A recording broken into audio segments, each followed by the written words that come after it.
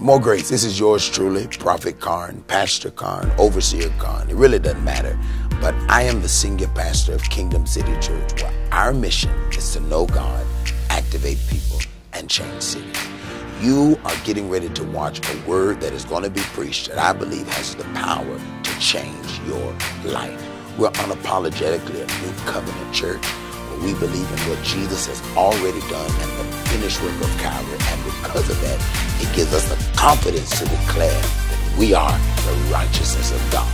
We're right here on your screen. You should see a little uh, a subscribe button where you can subscribe to make sure that you stay in contact with us and know what we're doing. But I pray that you hear a word today where your life is changed and keep on watching.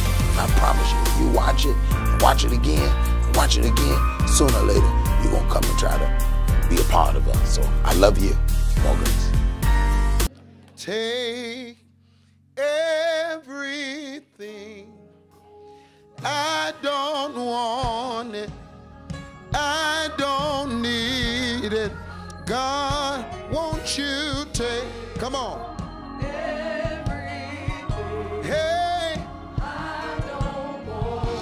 I don't need it. Say it again.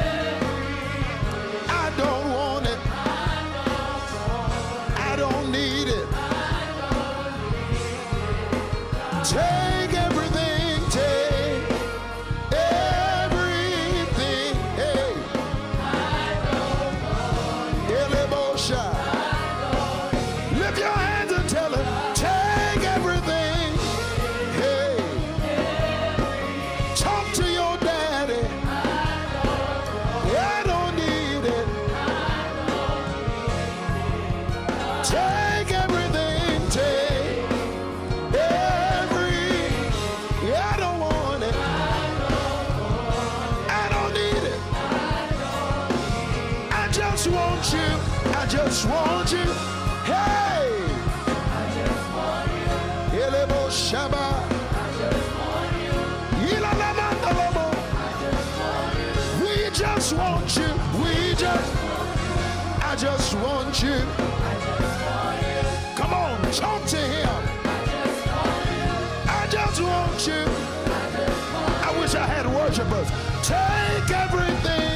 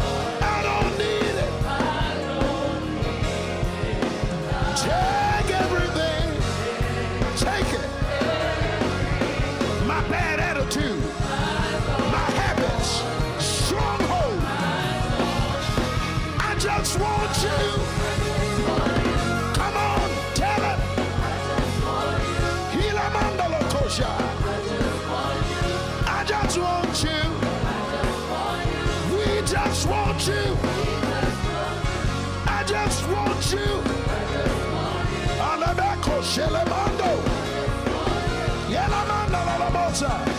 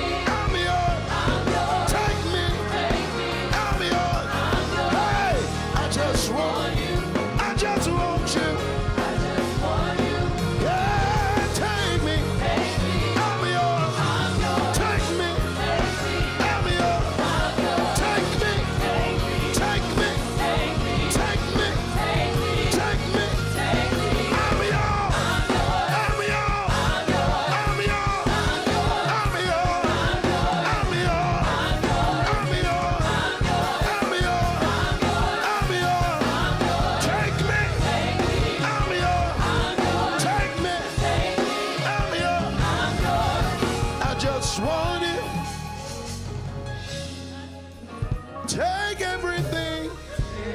Come on. Everything. Hello, Shai. I don't, it. I don't need it. I don't need it. Take everything. Take oh. everything. Ooh. I don't, I don't need it. I don't need it. I just want you sunshine. Hallelujah. Just mean it. Just we just want you. We just want you. Hey. I just want you. Hiya. I just want you. I just. I sing praise. Everywhere, come on.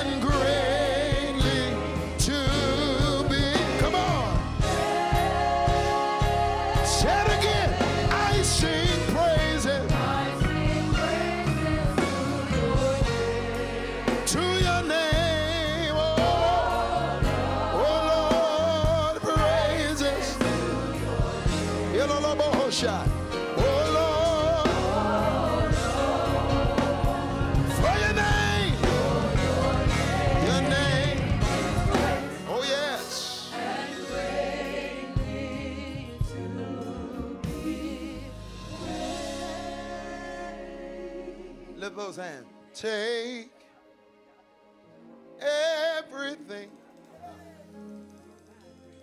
I don't want. I don't need. God take everything. I don't want it. Elekamaya. I don't need. I just want you. Akashaba. I just want you. Tell him. Hello, Basha. I just want. Elemando Masia.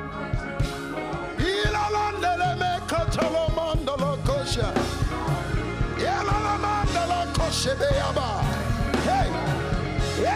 oh, I feel him. Hey, you know, Landalamo Koshebeya, Yamandala Kosheba, Yanaman Sopoleme, Yelemandalabo Hosha. Hey, come on, worship him.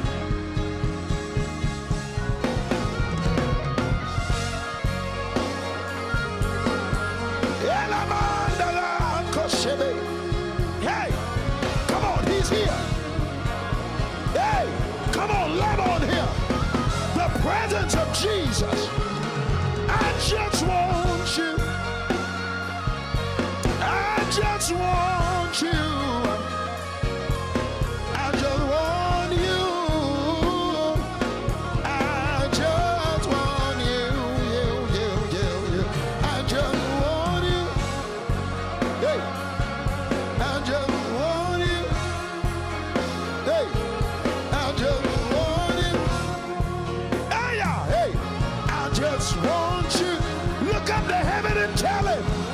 Just want.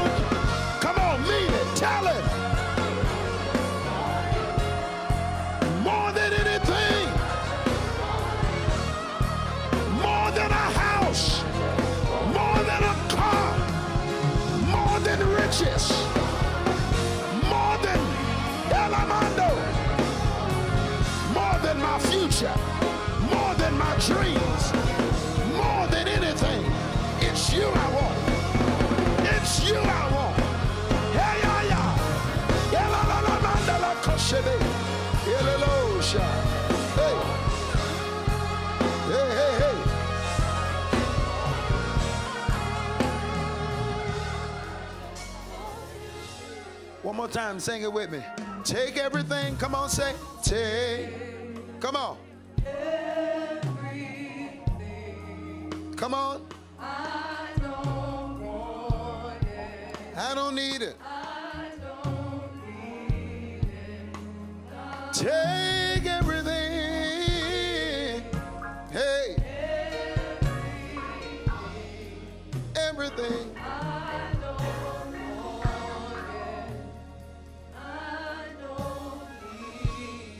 I just want you. Oh, Shabbat.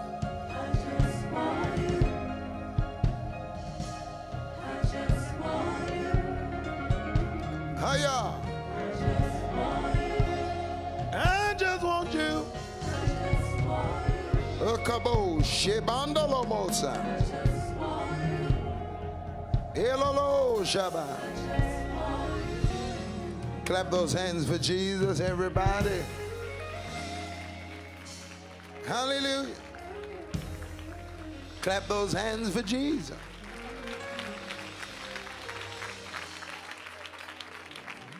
Hallelujah. Hug three people on the way down and tell them I'm excited about your future. Let me be a holy habitation where your spirit is pleased to dwell.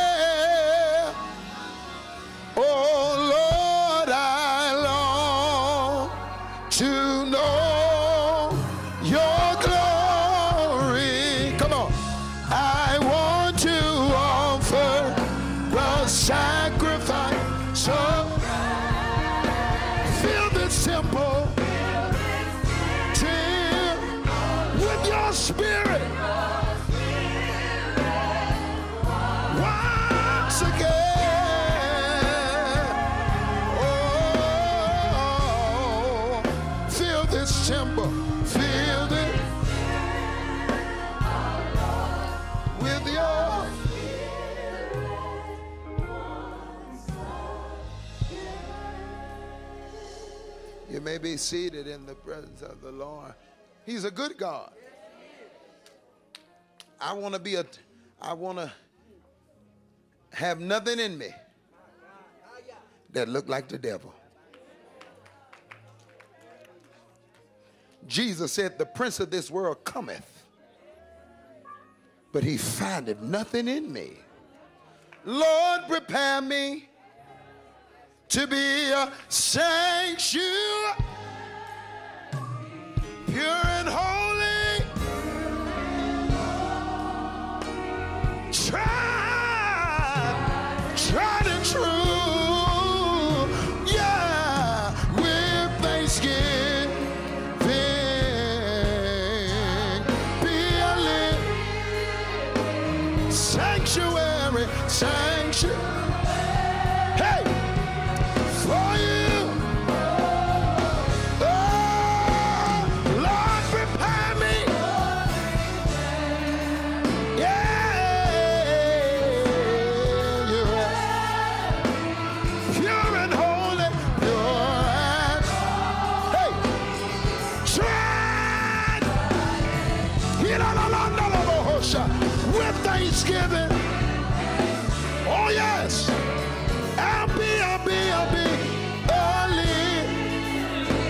Wish I had some worshipers.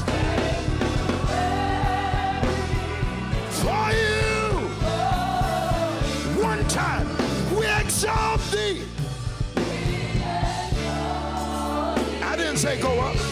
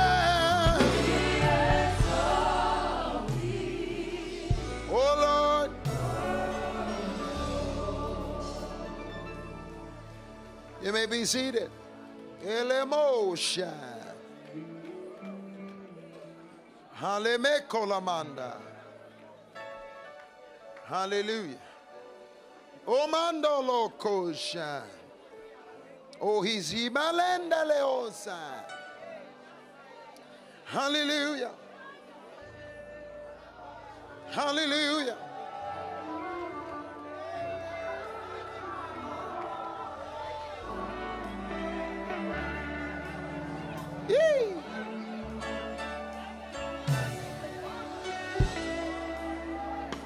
Okoshaba. Hey.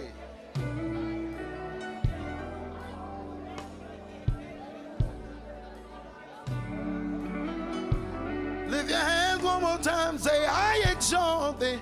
I exalt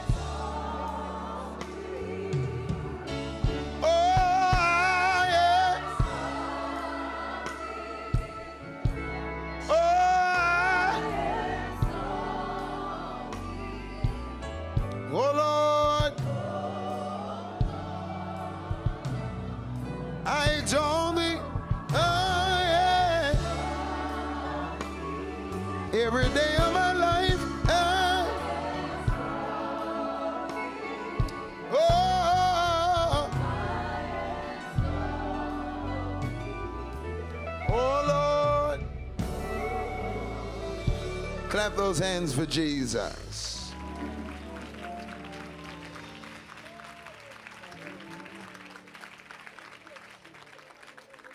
We honor the Lord for his goodness toward us, and we're grateful for the word of the Lord that is being taught in this house and for where he's taken us. Look at somebody on the left and the right, say, I'm glad I'm saved and I know I'm saved. Let's try that again with a little more confidence. Say, I'm glad I'm saved, and I know I'm saved. Anybody saved and know you're saved? I want to ask you something. I want to ask you something. If I'm if I'm Mother Kelly's son, if I'm Mother Kelly's son, and I get mad at her and leave the house and decide I don't want to go back there no more, and I go and do what I want to do. Okay?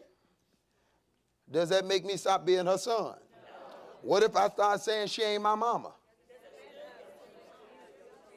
What about I don't want to fool with her no more?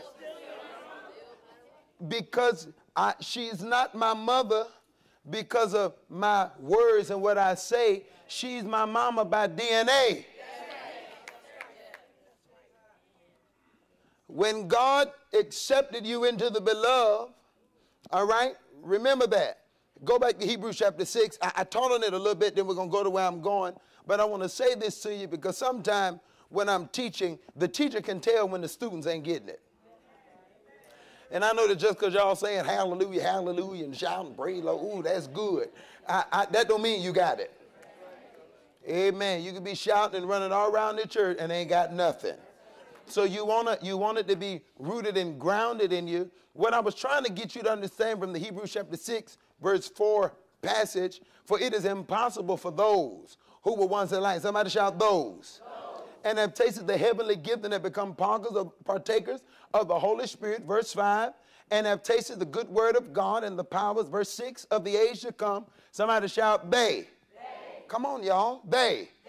If they fall away to renew, somebody shout them. Them, again to repentance. Sent somebody shout they. All right. So notice he's dealing with a group of individuals who are in the church.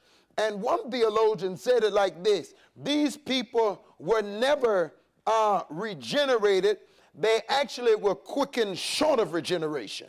So they got quickened, they heard the word, they, they were excited, uh, they even got happy. Go to Luke chapter 8, verse 12. Let me show you something before we go where we're going.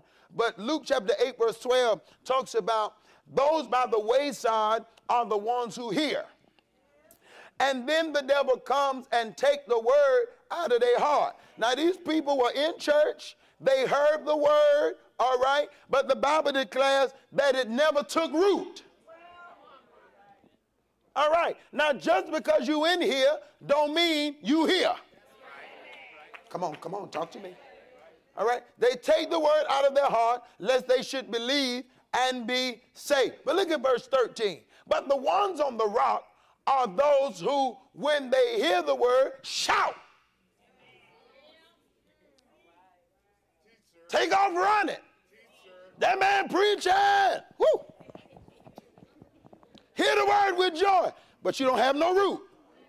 So you do believe for a wow.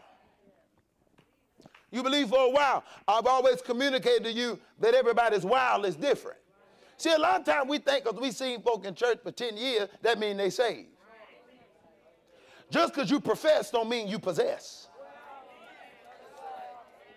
Because these people draw nigh unto me with their lips, but their what? Hearts are far from. So you can come in here and go through the motion.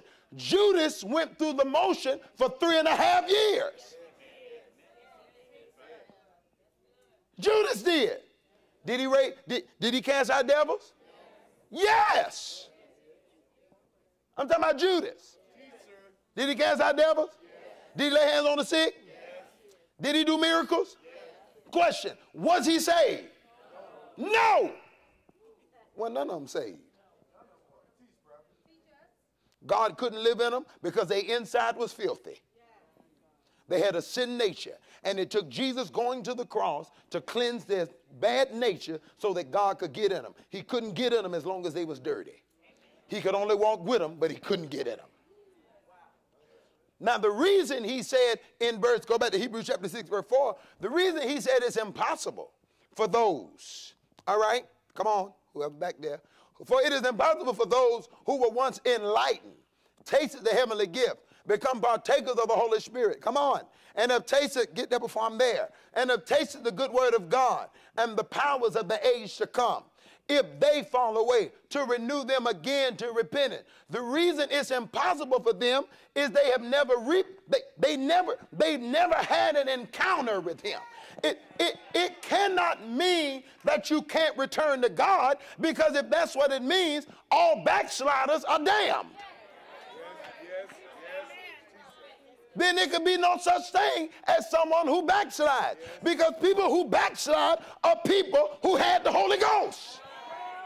Let, us let, let's forget people. How many people in here, since you have been saved, have went contrary?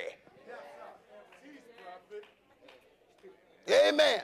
Now, I ain't never went out there. That ain't my testimony. I always been hooked on in. Praise God. But I want you to understand that according to the word of God, if that means, if it's saying that a person who has tasted the word of God, who've experienced God, can't fall away, and if they do fall away, they bring Christ to an open shame, then I'm telling you, every backslider might as well go ahead and stay in the world. If that's what that means. So it can't mean that. That's why I want you all to understand when your family is not in church, it's easier for God to reach them than somebody who in church hearing it and rejecting it.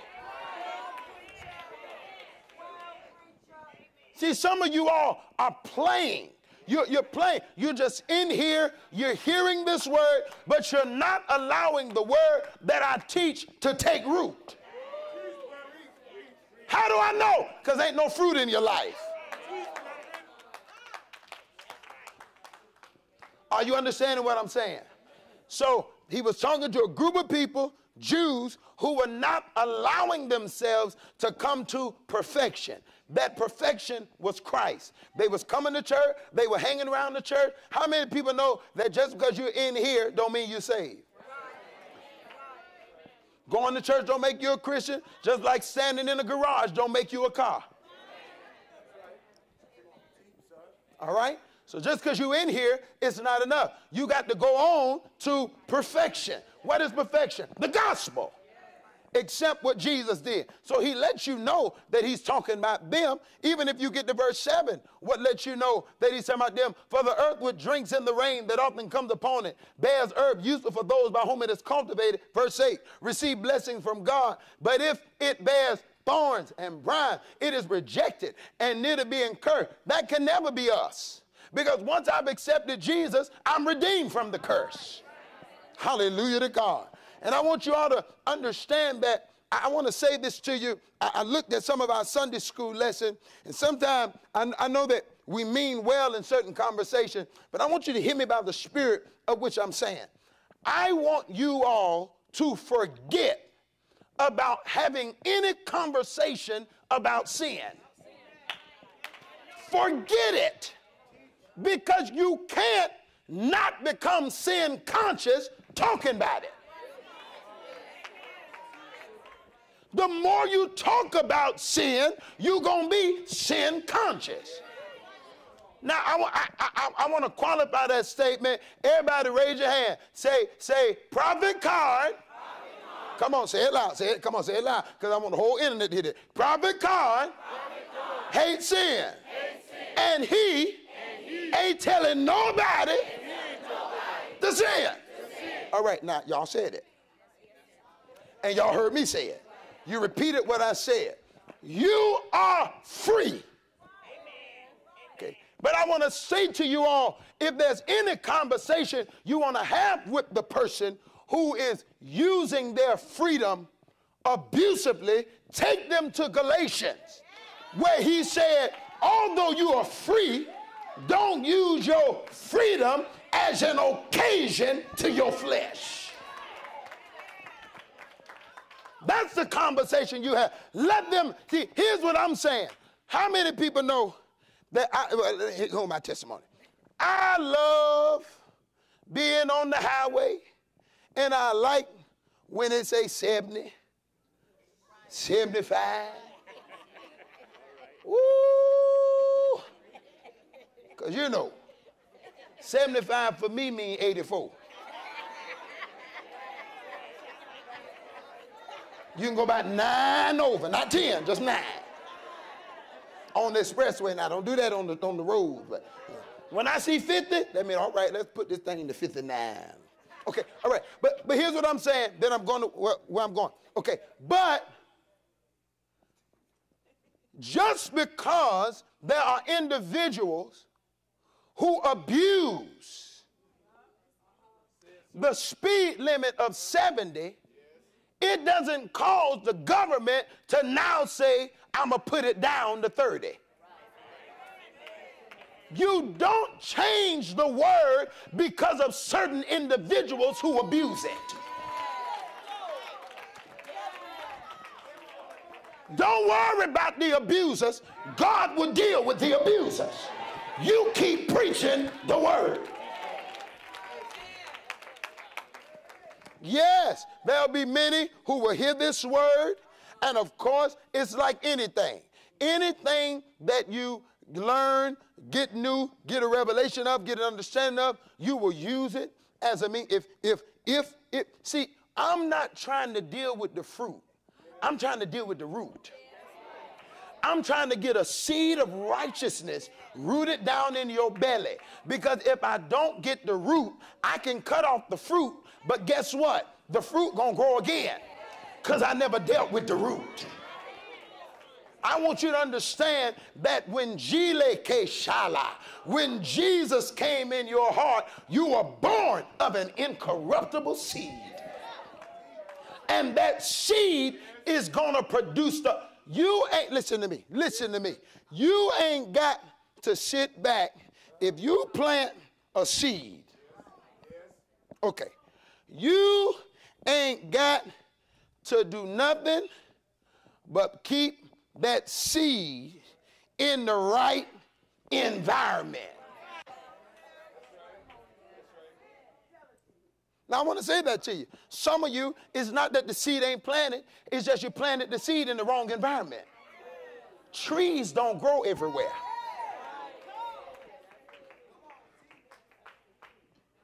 Amen. They'll serve mac, mac, macadamia nut. You can't just say, I want to, I'm, I'm going to plant me a, mac, a macadamia tree and I'm going to get me some macadamia seed and plant in my backyard. And you're going to be mad 20 years later that you sat there and waited on it and it never grew. Nothing was wrong with the seed, something was wrong with the environment.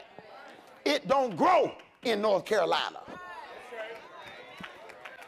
because the environment is not conducive for that to grow. Some of you, you're not growing because of your environment.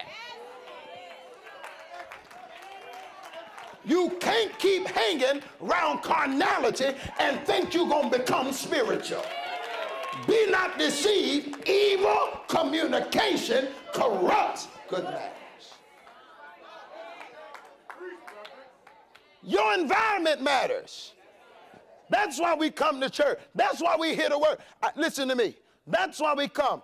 Every time you look in the scripture, in the Bible, every time you look in the scripture, when Jesus kept showing up, all in the scripture, he kept showing up. Read your Bibles.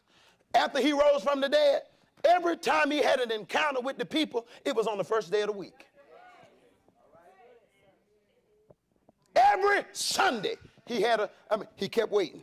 He appear him on Sunday. Then you see a pause. Then he meets him again on Sunday. Then he meets him again on Sunday. Now, what is he trying to tell us? He was showing us a precedence that the reason we are coming here on Sunday mornings is to be fed. You should come in here and you should learn more about Jesus. I told you all, Romans chapter 1, for I'm not ashamed of the gospel, for it is the power of God unto salvation. For therein, that's Romans 1:17, therein is the righteousness of God revealed. What's revealed? What's revealed? What's revealed? When you hear me preach, what I should be revealing to you is not your problem. Because you already know you got problems. See how y'all sitting hacking all deep. I'm talking about that person next to you speaking in tongue, worshiping just now. They got problems. Look down your road. Say, I got problems.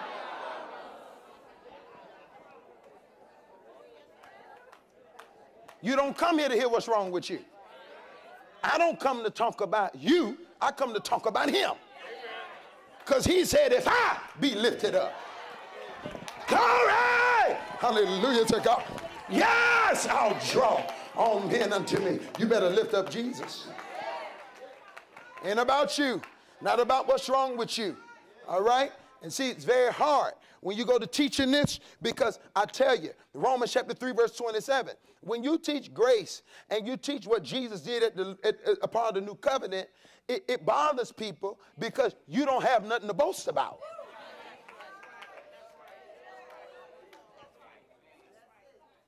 When I hear Jesus did everything, well, what about me? What about I got to do? See, that's the question. Where is boasting? Well, how am I going to brag on something I'm doing? He said, guess what? It's been excluded.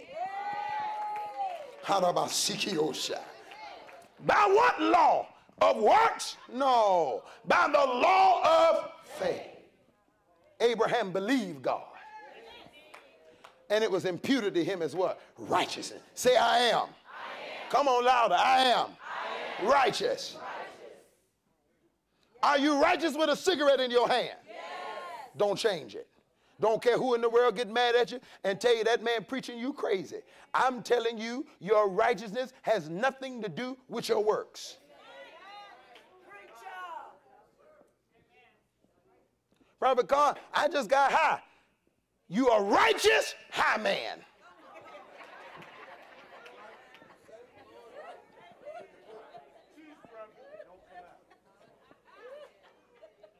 Don't let nobody change your mind about that. Keep confessing it. Keep declaring it. And I promise you, if you keep declaring it, he will change your want tos.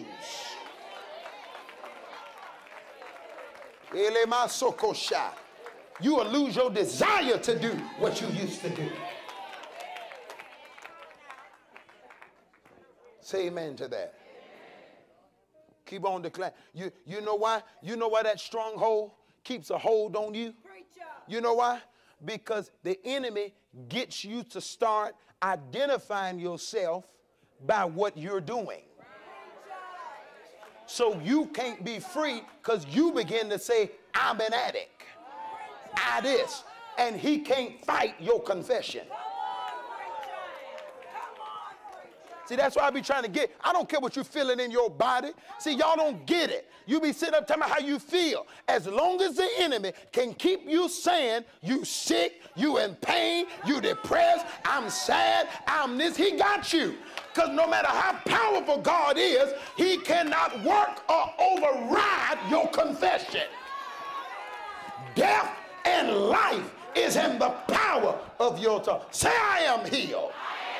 Good God, Mohan, let me calm down. They told me to be nicer when I teach. Told me to smile. Okay. Say, I am healed. Say, I am holy. Say, I am righteous.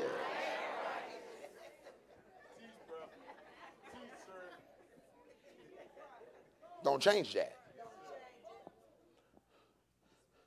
I said something. I said something in church while I was there in um, Sylvania.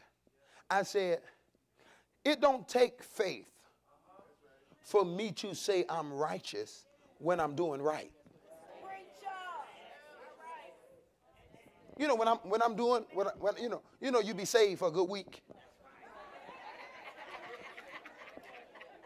Now some of y'all some of you think you can be perfect, and if you think that you already deceived. You can't. Okay, okay, okay. First of all, you, you just can't. Because the person who says you're perfect, I have a question. What about your thought of worry? If you ever doubt, you're in sin. Because whatsoever is not of faith. Worrying is a sin. Doubting is a sin. I always tell, I always tell, man, I ain't never cheated on my wife. I tell you, you never cheated on your wife bodily. You ain't never cheated bodily. But you ain't tell me you ain't never looked at nobody.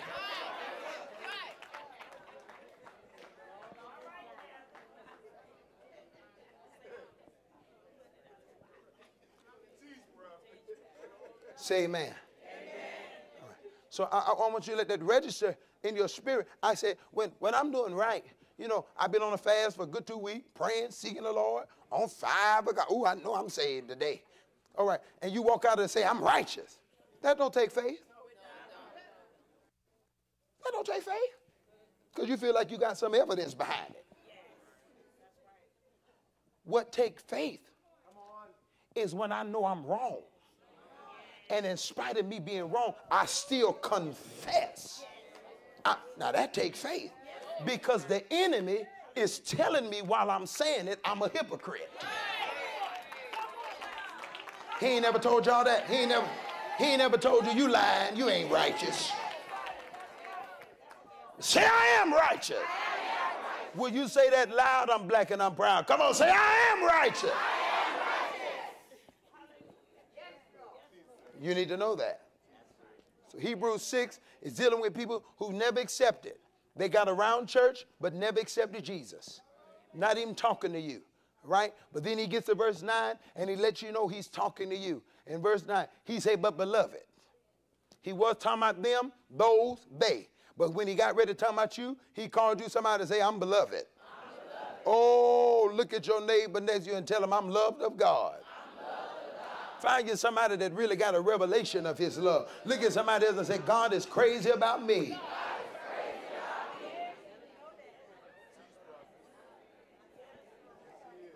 What let you know that he wasn't talking about us is he said, But beloved, we are confident of what? Come on, it's right there on the, on the scripture for y'all to read. But beloved, we are confident of what? Concerning what? You. Yes, things that accompany what?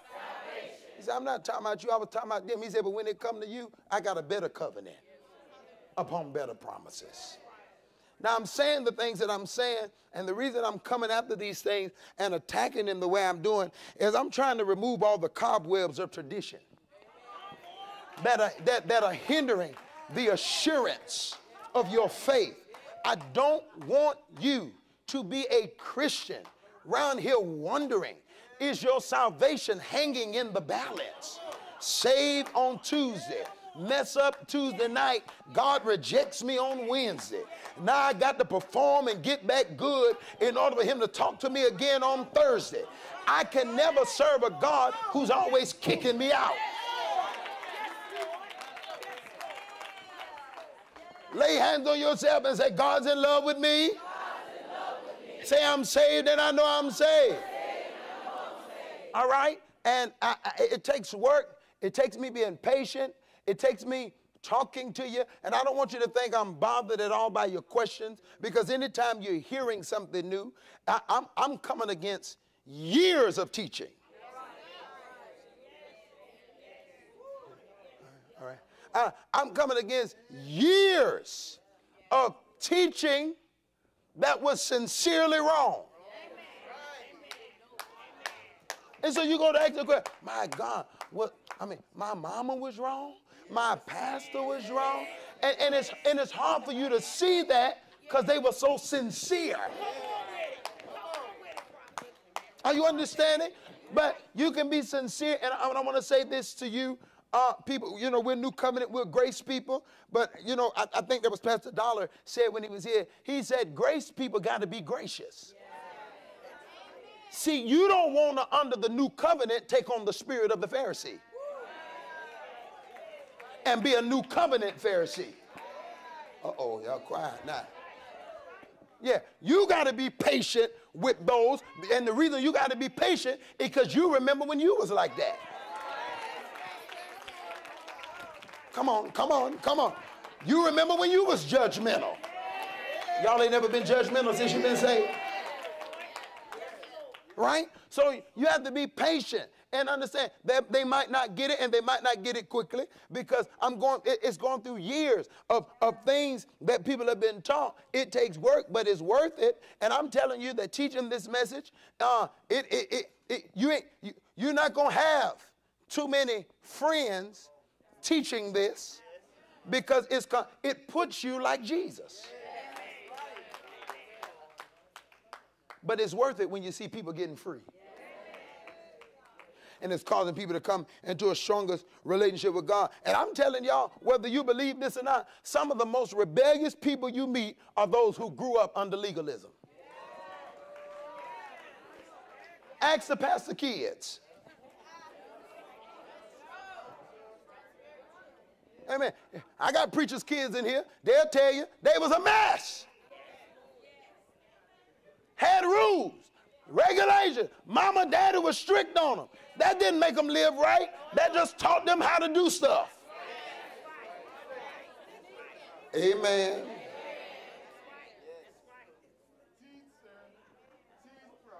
Just because just, just people are strict on you, just because somebody tell you not to do something, that don't make you not do it. Amen. Every crook, every crook was told not to do something and they found the easier way to do what they've been doing.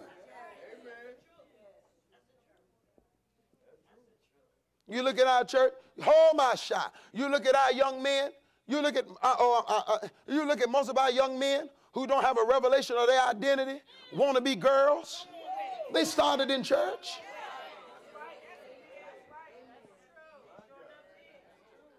They wasn't in the world all day. They, they was right in church dancing with the church mother, and start acting like one.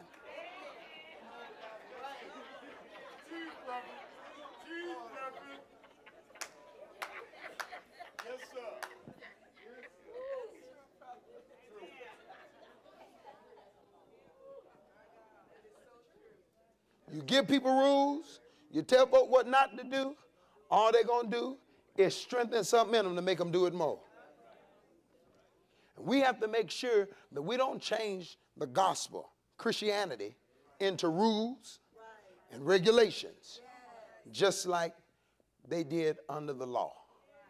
We got to make sure that we do it in the spirit of Christ. Now, again, I'm going somewhere. Now, that doesn't mean that there's no standard.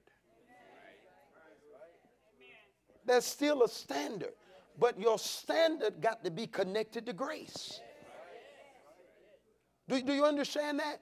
It's, it's, it's, it, you don't enforce the rule and teach people to love each other.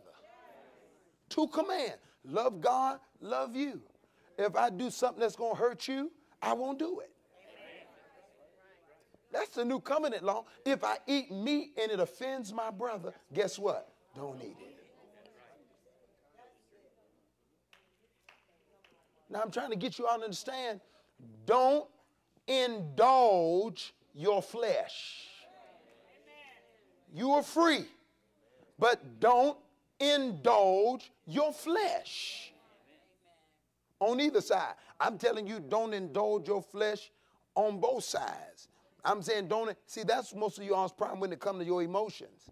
You only know how to deal with bad emotion, but you don't even have balance with good emotions. Some of y'all laugh too much. See, you gotta know, you gotta know when you're laughing too much. Because the Bible talk about jesting and jiving.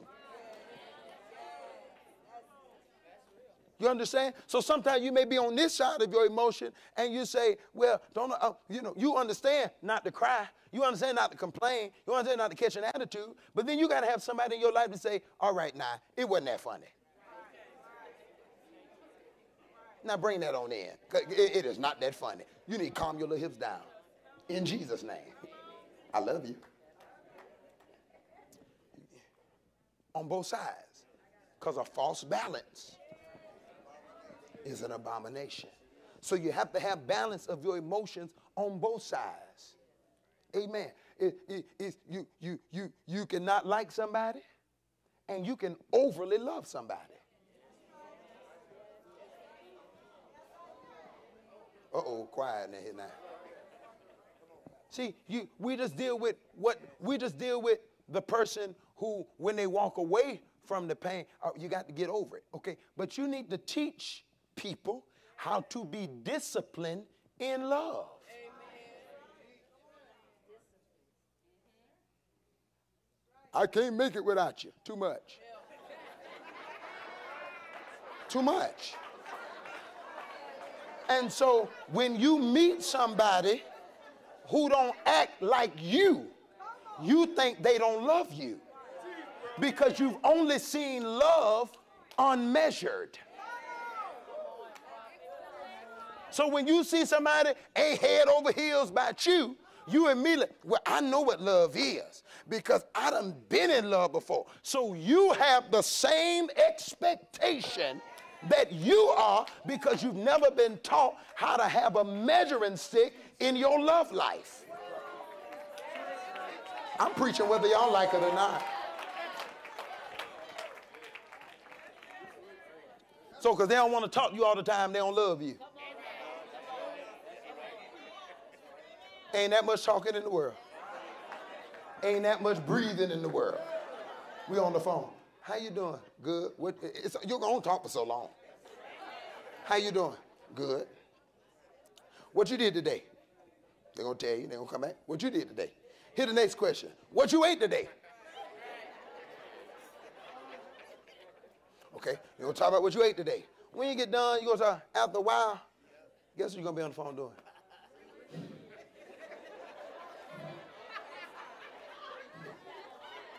On FaceTime watching each other watch something.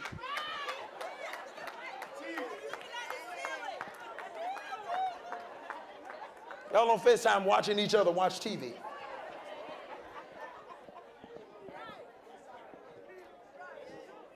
I just, I just, I just want to be around you.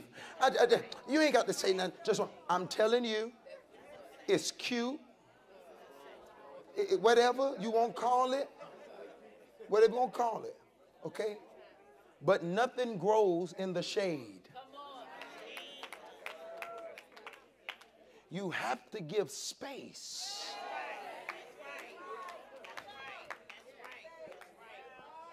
Now I, I'm telling you, there can be there can be both. Uh, uh, I'm telling you, catch the balance. There can be too much space, and there can be not enough space.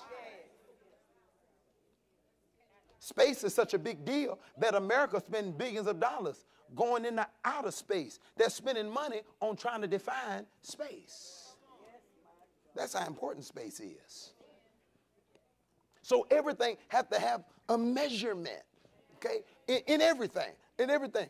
Nothing wrong. Nothing wrong. How many people know when somebody die, it's normal to grieve? But not for no five years. Five years later, every time their birthday come around, you crying. There's a problem. No, no, no, no. See, prophet, that's insensitive. No, I'm trying to teach you that it shouldn't be 20 years down the road and you, you see their birthday. Oh, I can't take it. This is just not a good day for me. That's unhealthy.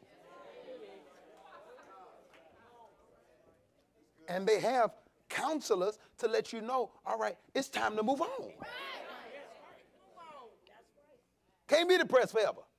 Can't be sad. Now that's on both sides. Are you understanding that? So you have to have balance. Don't indulge your flesh. Don't indulge your appetite. Yes, I'm free, but I don't use my freedom as a liberty to my flesh. I mean, just because of, just because a man gets out of prison and he and, and he free, and let's say they expunge his record and and give him a pardon, he ain't so free that he can go to killing folk. They don't put your little happy hips right back in jail.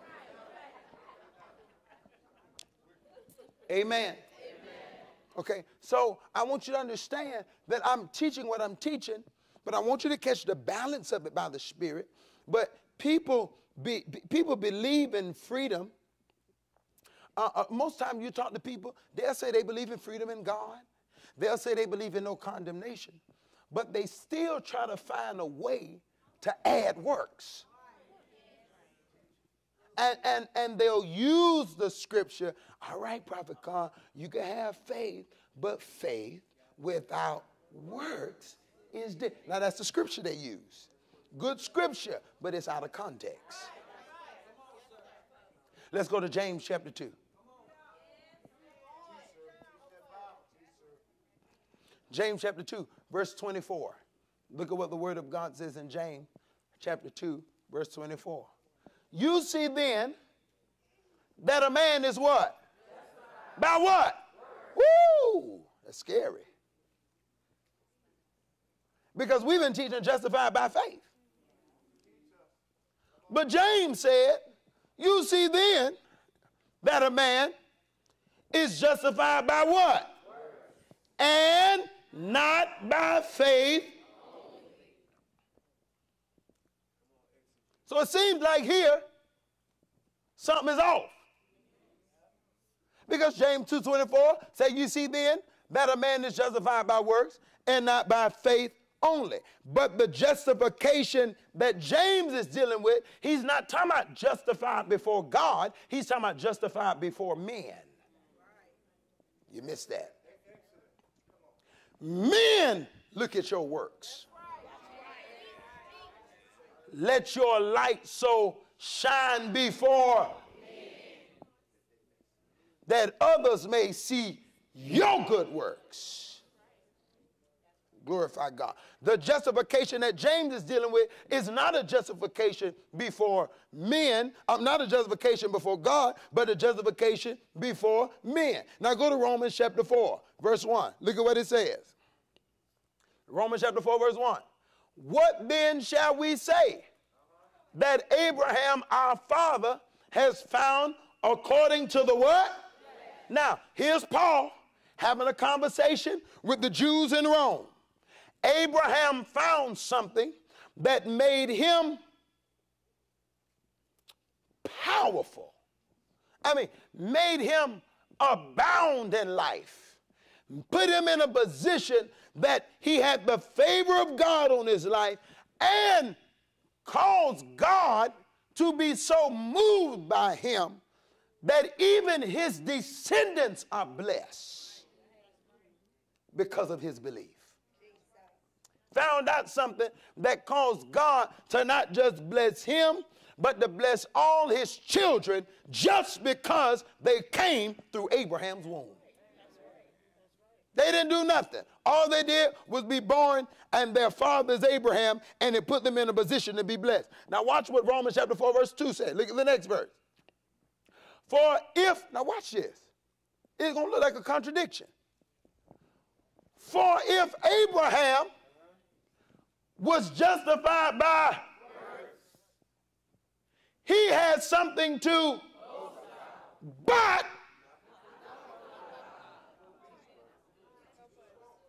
go back to James 2.24 so you can get it.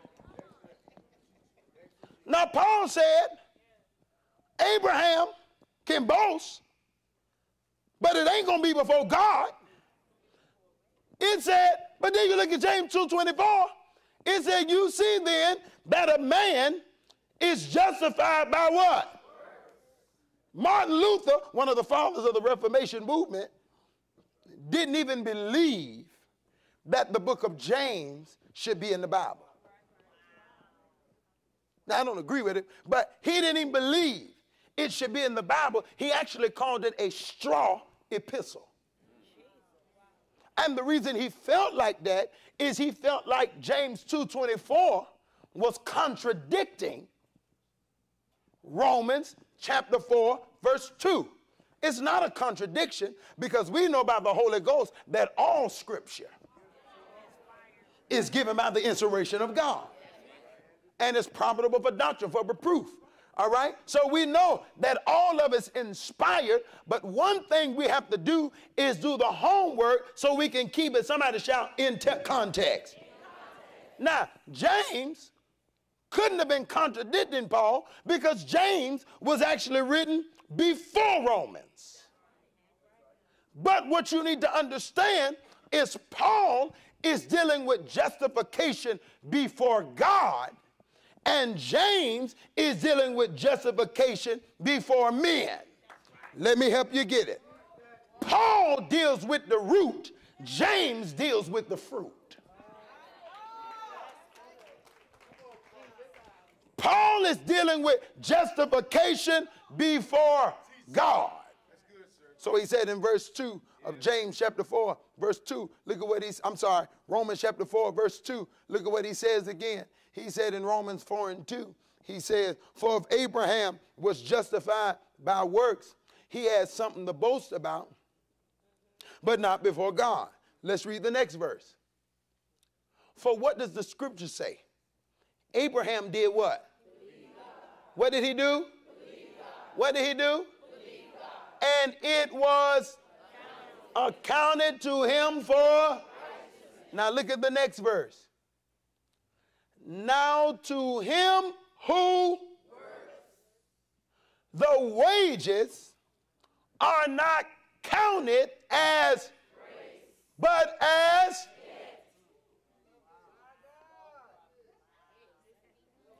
if I bless you because of your works, it puts me in a position that I'm going to owe you.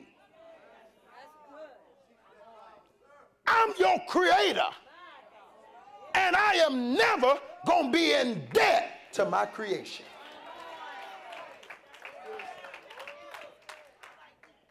Are you listening? So if you work for something, God owes you. Are you getting that? But you can't work for this.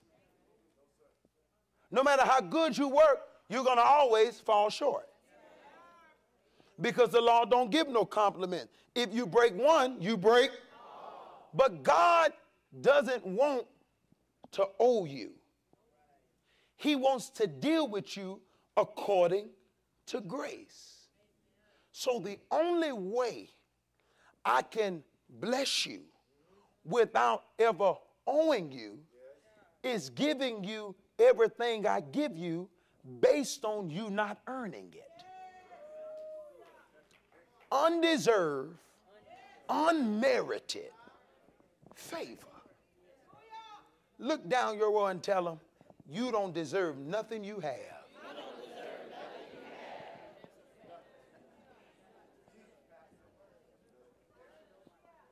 Now that ain't the mindset we was taught. You got folk be going to God, telling God about how they live. Lord, I don't do this. Lord, I don't smoke. I don't drink. I've been keeping myself. I've been holy before you. And I know you're going to move for me because of how I'm living. He looked at you and said, filthy. He's not impressed. It's a great testimony for men, but it does not affect anything between you and God.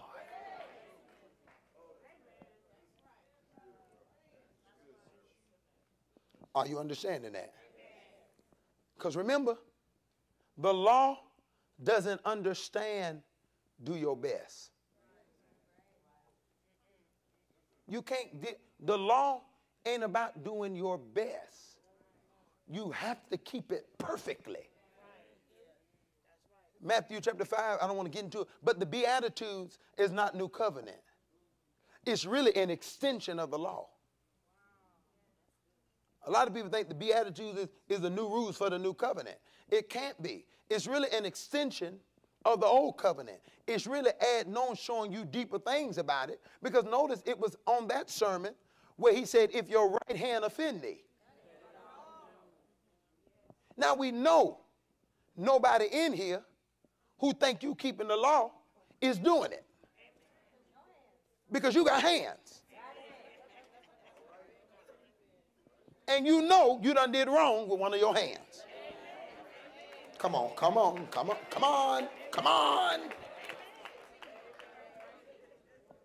Not just the right hand. You don't. I mean, you be walking in church with nubs. It say, if your right eye offend thee.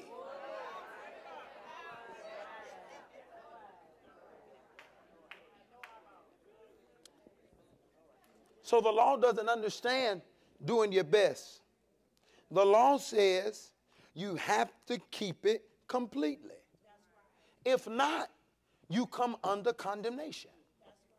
You can't just do some of the law, you got to do all of it.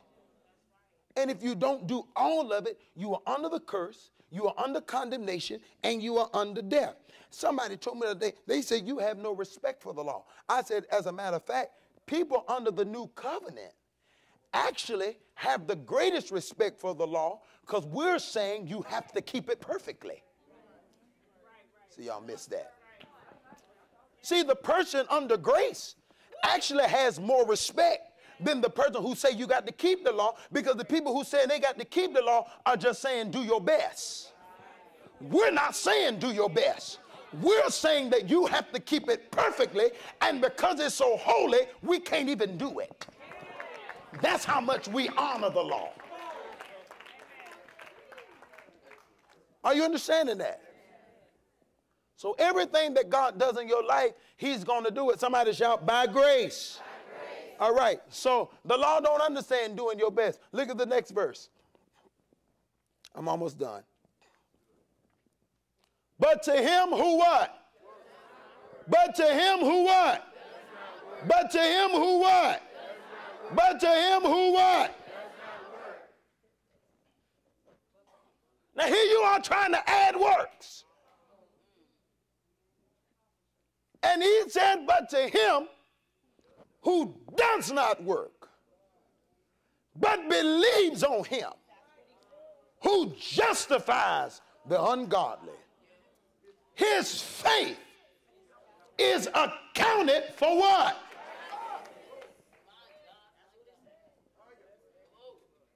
The only way that he can justify the ungodly was at the cross. It was the cross that releases him to be righteous. And he is not merciful in making you righteous, he's righteous in making you righteous. Okay, you missed that. I told him this other day. I said, You have to understand, God is perfect in every way. Okay. The universalists want to talk about his love. But you can't just deal with God's love because he ain't just love. He also holy. So in teaching You have to find a way to talk about his love without violating his holiness. But then you got to talk about his holiness without violating his love. Because he is altogether lovely. So, how can I be holy and righteous at the same time? How, how can I be holy and loving? If I love you, I can't judge you. I can't, because I love you. Love worketh no ill to his neighbor. It's not puffed up, it's proud, it's patient. So if I love you, I can't, the wages of sin is there. But if I love you, I can't do that to you. But if I'm holy, I can't let it go unpunished. Gotta have both. Well, how am I going to have both? I'm going to show you. For God so that he stop. So sending Jesus was his love. That's mercy. Why you send Jesus? Because I love you. For God so that he his only uh-oh. But how how you gonna get the holy part out? Okay. What I'm gonna do is I love you so much that the judgment that you are supposed to receive, I'm going to send my son to take it in your place. And if you put your faith in what he did, I'll call you righteous. And it's not my mercy that made you righteous but I'm actually righteous in making you righteous because I can't judge. Okay, th- this is why, this is why. Hanamosha. On the cross, ah! I just got a fax. On the cross was the body of Christ. On the cross was the body of Christ on the cross was the body of Christ. The body of Christ has already been judged. The reason he can't judge me is because I am. The body, you're not getting that. I'm the body of Christ. He can't judge that body and then judge me because that would be double jeopardy because he's judging the same body twice.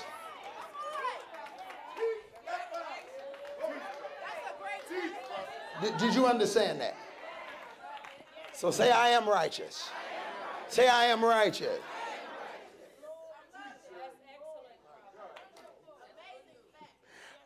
I am righteous. My time about up.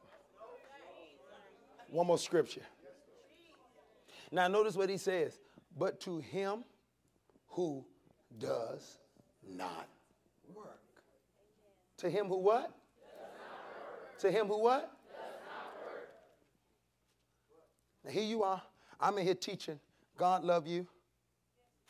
You are justified, void of your works. And somebody always going to try to come and tell you, yeah, but but you but you gotta, but you gotta, but you gotta. Okay, you gotta do this now, you know, and that's good before men. But not before God. That's good teaching. Give me Ephesians chapter 2. Ephesians chapter 2, verse 8. For by, for by, for by, you have been through, keep going, that not of yourself, it is the. Somebody say it's a gift. Say it's a gift. Now, guess what? Guess what? Guess what? Not only is grace the gift, faith is a gift. You couldn't come unless he gave you faith to come. Now, always remember, and I'm, I'm going to throw this out here.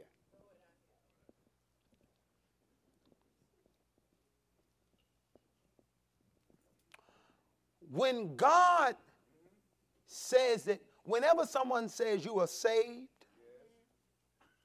always remember, saved is only talking from eternity. Okay, you missed that. You're in time. So when you be telling some, well, that person was in church, but then they left and decided they didn't want to be with God. Okay, that didn't shock God. It shocked you. So even though they were saying it, God knew they were never saved. Because saved is he who endures. Uh oh. That's Matthew 24 13. Give, give, me that. Give me, give me Matthew 24 13. Matthew 24 13. Look at what it says. It says in Matthew 24, but he who, he who, he who, to the what shall be. So when you say right now that you are saved, it is really a declaration of faith. Why? Because the end ain't here. Now, but God in eternity can see you drunk, high, living crazy, and he in heaven saying, She saved. But the but the only reason he can say that is because he done already seen your end. Yeah, he declares your end from the beginning. Hallelujah to God. Yes, Lord. Okay. Do you understand that? So when you say you saved now, that's why you got to keep confessing it and keep declaring it. Seeing we have the spirit of faith. Huh? We believe, therefore we speak. Say, I am saved. My God, I don't care where I'm at. People ask me, how you doing today? Saved. How you feel today? Say, but how you doing? Say. People want you to give them carnal that, but baby, I'm saved. I got to keep telling myself that. Because I messed up right before you asked me that, and the devil tried to tell me I wasn't. But I want to tell the devil I'm saved. And I want to let the devil know I'm, I'm sticking with God. No matter how messed up I get, I ain't leaving God. The race ain't given to the swift, nor the battle to the strong, but to him that endures to the end. Saints used to sing a song. They said it ain't about how high you jump, it's how straight you walk when you come down. My time up. We're saved by grace that not of yourself. It is the gift of God. Ephesians chapter 2, verse 8. Not of works. Ephesians 2 and 8. It is the gift of God. Look at verse 9. Not of works. Less what?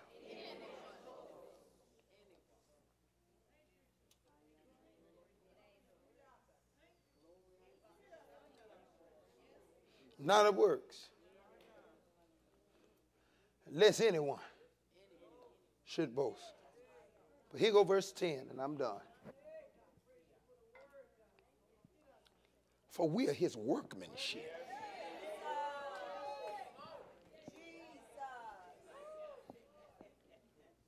Now you got to get you got to see what that means. That word workmanship in the Greek is poema. It's where we get our English word poem. You are God's poem. You are his love story. Hele Masha. Every time your life goes through a mountain and a valley, it ain't nothing but imagery to the poem.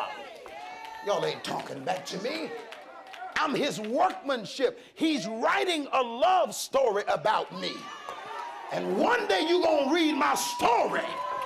If anyone should ever write my life story for whatever reason there might be, he'll be there between each line of pain and glory. Shake your neighbor and say, Jesus is the best thing. Poema, poem. That word actually means, it actually means in the Greek, poetry in motion. Tell your neighbor, you God's poem. I felt some try to come in my voice just then. I don't want to do that. I want to teach this. Tell somebody else, you God's poem. For we are his, Ephesians 2 and 10, we are his workmanship. Created in Christ Jesus for good work. Now, he's telling you that when I saved you, Ale veledos, aklandala klushna, I have created you for good works. You don't have to try to do good works because of the root of the spirit that's in you. Something about your new nature is going to make you do good even when you want to do bad sometimes. I ain't got nobody to be honest in here. But a lot of times you wanted to do what you wanted to do, but something in you wouldn't let you do what you wanted to do. And that's confirmation that I belong to God.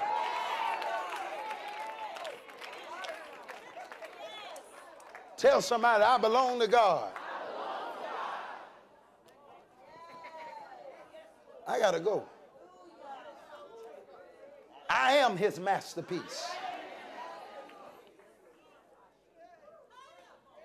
He's writing a story of my life. I really don't want to do that.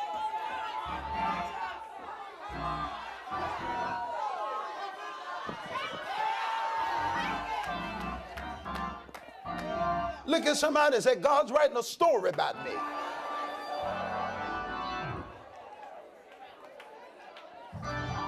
So many times, people put the book down in the wrong chapter.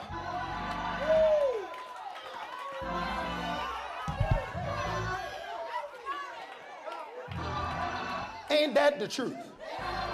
How many times have you read a book and the book got so frustrating that you just say, I don't want to read no more of that? How many times have you been looking at a movie and the movie was about to make you mad and you just walked out and say, I don't want to see that? But tell, tell your neighbor, keep on reading. Got the wrong neighbor. You got to find somebody that'll grab your neighbor and say, just keep on reading. One day, somebody looked at Jesus and they thought the story was over. But I heard the psalmist declare, that's not how the story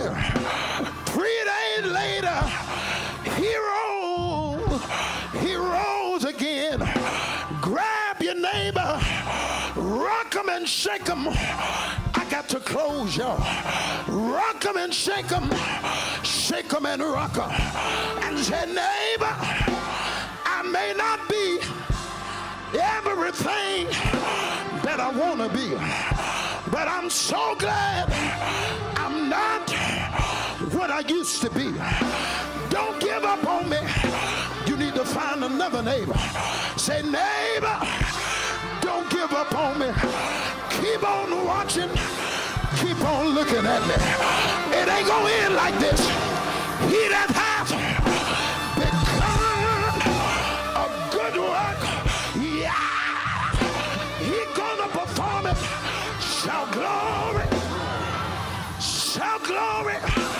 Another time. I got to close, but grab you one more neighbor and say, neighbor, see me in the sanctuary, don't judge me. Every now and then, I might mess up. Every now and then, I might get angry. Every now and then, I might get frustrated. If you catch me at the wrong place and at the wrong time, I might do something that you don't agree with. But please, I got to get that out. Please, I still ain't hit it like I want to.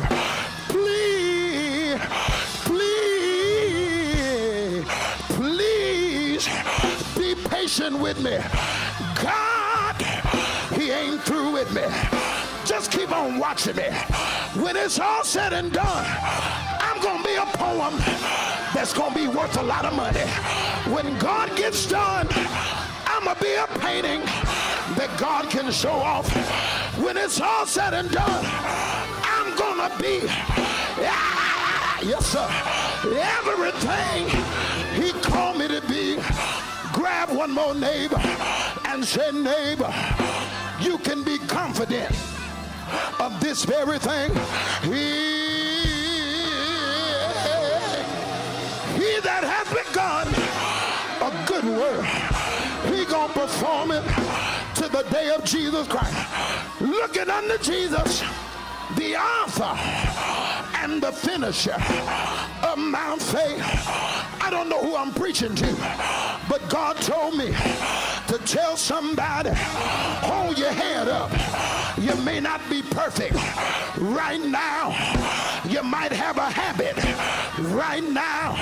You might have an addiction right now. You might be dealing with a stronghold right now. You might be in a bad season. Your poem might have a comma, but I come to tell you, keep on reading. Don't give up on me. God's gonna use me. He's gonna use me. I am a miracle in the making. I'm a short story in the making. Don't give up on me. Got to get out of here. But grab your neighbor for the last time and say, neighbor, keep on reading. Many on the affliction of the righteous. Come on, turn me up in my monitor. But,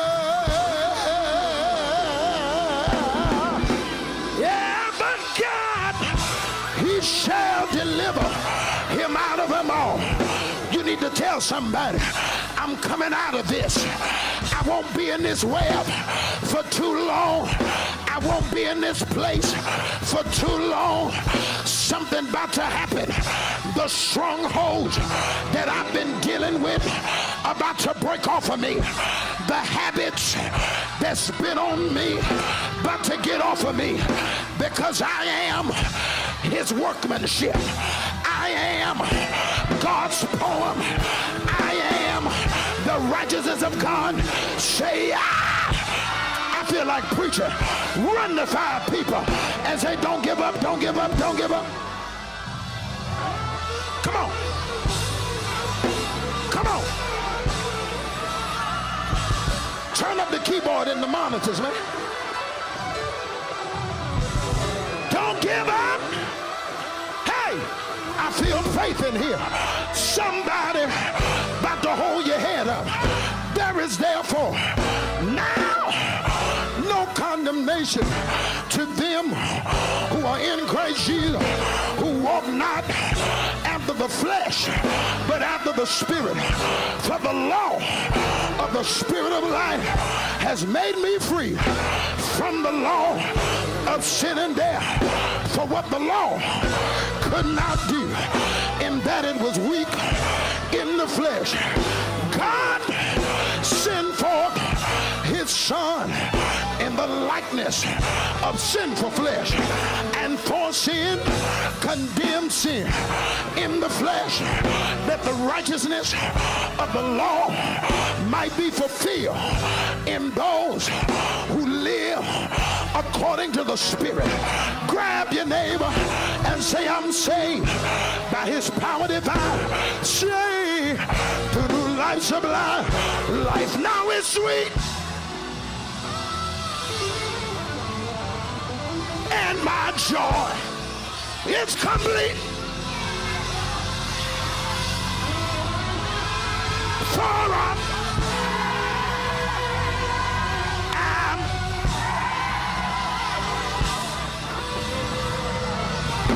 You better scream. Something just broken. Hey!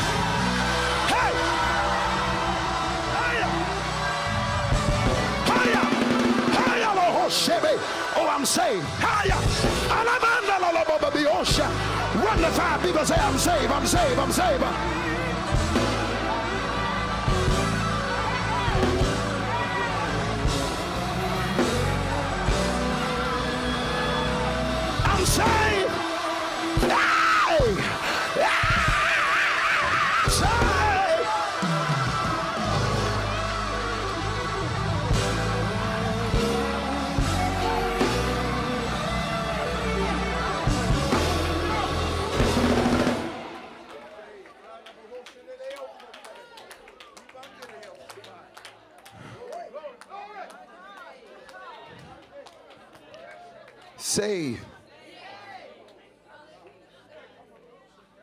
You need to know it.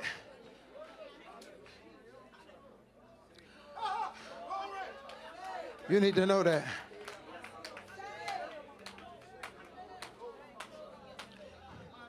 Every person in here, I know there are people in this ministry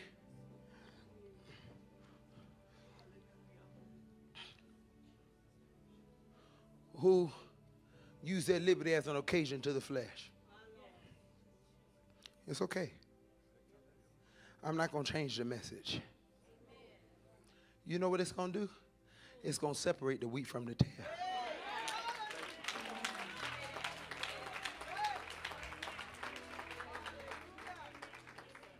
It'll separate the sheep from the goats. He told you, let the wheat and the tare grow together. While you sitting here trying to let the wheat, he's saying at the end, I'm gonna do the separate.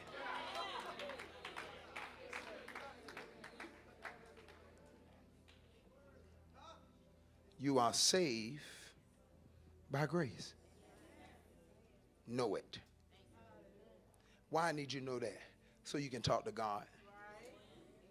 So you can never go in prayer wondering is God holding something against you. Look down your arm and tell him God ain't mad at you.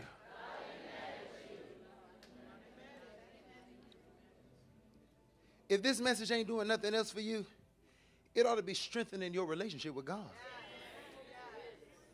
You ought to be able to go in prayer and say, Lord, I'm jacked up. Lord, I got I see this area in my life. I know you're not judging me. Of course. And and, and, and, and again, it's, it's just like somebody you love. You know that they'll love you in spite of you, but you don't use that love in spite of you to keep on being in spite of you. See, that's what y'all want.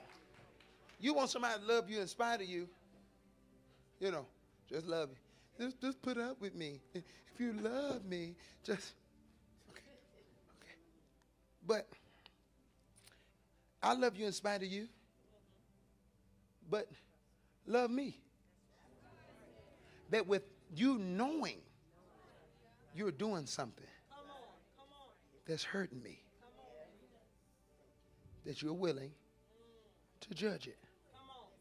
I don't judge it, you judge it.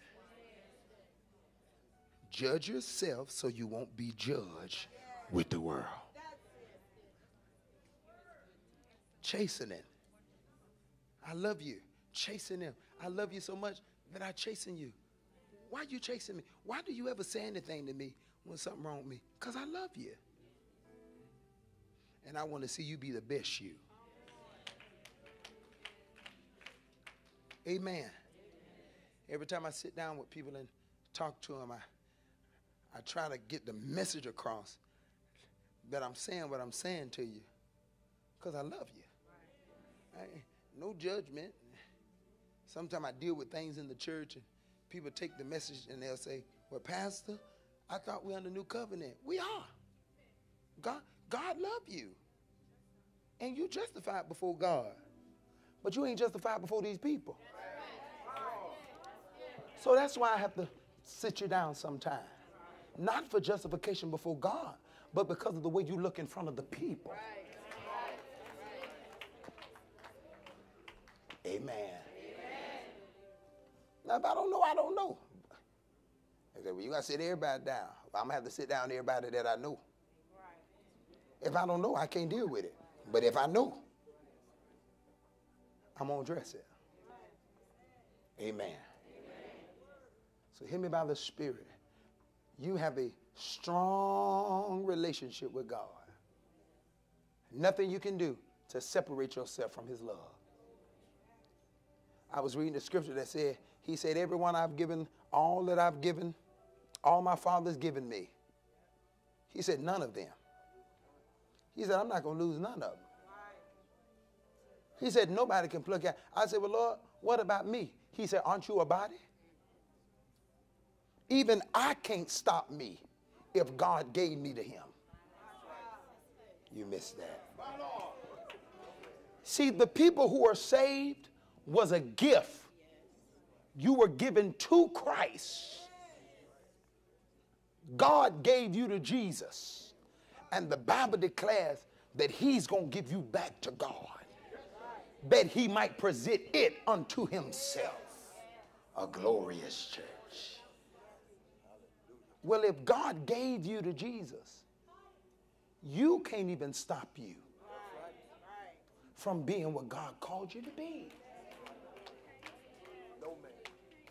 He said, No man. No things present, no things to come, height, depth, any other creature shall separate me. Well, Brother Carn, what if I don't believe? He said in 2 Timothy 2 13, he said, if we don't believe, he still remains faithful. Why? Because he can't deny himself. Well, Prophet, you telling me even if I lose my faith in my Christian journey, that you still got me? Yeah, because I'm in you. If I deny you, I'm denying myself. Because I put my spirit on the inside of you. Well, what I got to do? Receive. That's so hard. He said, let us labor to enter into rest. That seems so backward. How am I working to rest? Because you've been you're fighting a system of having to perform. And now you hear a preacher telling you, just receive. And it's a struggle for you just to receive that God loves you. But slap somebody on the left and the right and say, Jesus loves me. If you're in this room and you've never accepted Jesus as your Lord and Savior, if you don't know Him in the pardon of your sins, we offer Christ. If you're in this room, you're not saved, get up here quickly. You don't know him. Come to Jesus. Oh, if you're not sure that if you were to die, heaven would be your home, get up here. We. You're not saved, come on. Backslider. Come on. Need a church home. Get on up here. New life. So come. Say, come on. Come on to cry. Look at somebody left and the right real quick. Say, are you saved? And know you're saved. Wait on the answer. Wait on an answer.